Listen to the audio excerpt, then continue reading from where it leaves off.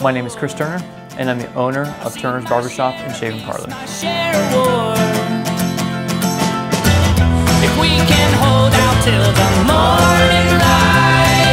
We're on High Street in the Short North, located in Columbus, Ohio.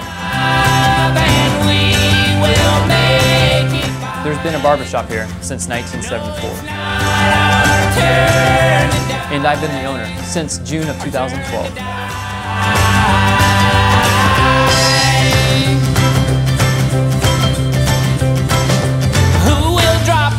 We do haircuts, straight razor shaves, and beard trims. We also carry a good amount of product, such as Layrite and Ohio-based Cliff Original.